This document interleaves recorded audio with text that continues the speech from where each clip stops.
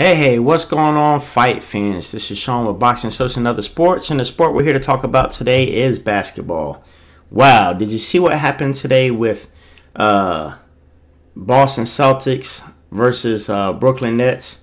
Um, first thing we're going to talk about, and we're going to take a look at this video, is we're going to talk about how Jayson Tatum made two very important plays towards the end of this game that caused them to win.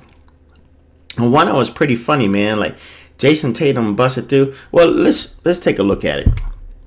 I'm gonna go ahead and play the video and let's let's talk about it. So here comes Jayson Tatum. He's coming down. You see he's going down. He goes around the defender, goes up his own teammate. Boom!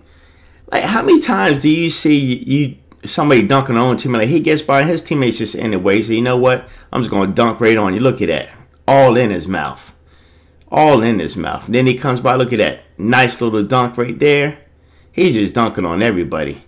Kyrie comes up. He tries to get the win. He doesn't. He gets it. He throws it out to Tatum. Tatum hits the three. Boom. Swish. Got him, coach. Got him. Got him.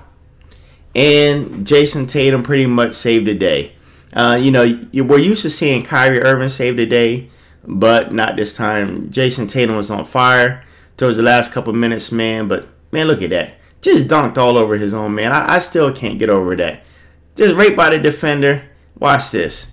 Yeah, right, right on his own teammate. Then just step blows right by them. Another dunk. Easy dunk. Easy dunk. Kyrie trying to save the day. Threw up a crazy shot. Fought. Got the ball back. Tatum.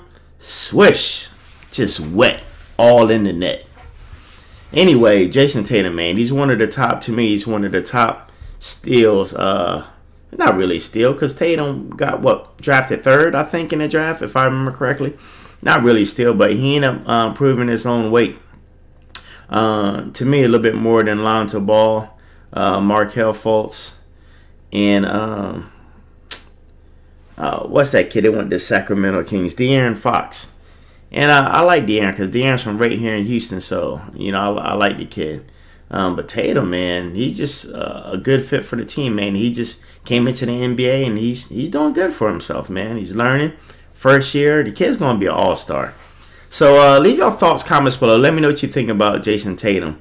Did he save the day, or was it really Kyrie that carried the team on the back? To me, when it comes down to the last two minutes, the person um, that's hitting them clutch shots, that's the one that saved the team. I don't care if he had 30, 40 points the whole game and you have 10 points. If you get those points and you save the team at the end, you're the all-star. So make sure you like, subscribe. Um, make sure you hit that notification so you can continue to get alerts. Till next time, this is Sean Boxing Social and Other Sports. We're signing out.